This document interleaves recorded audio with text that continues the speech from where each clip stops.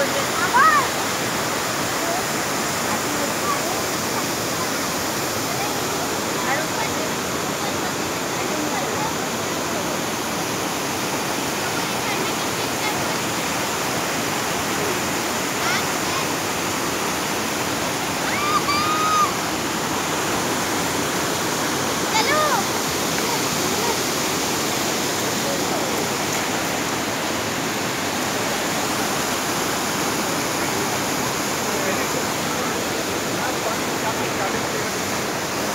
हमारा साइड तो बर्बाद होगा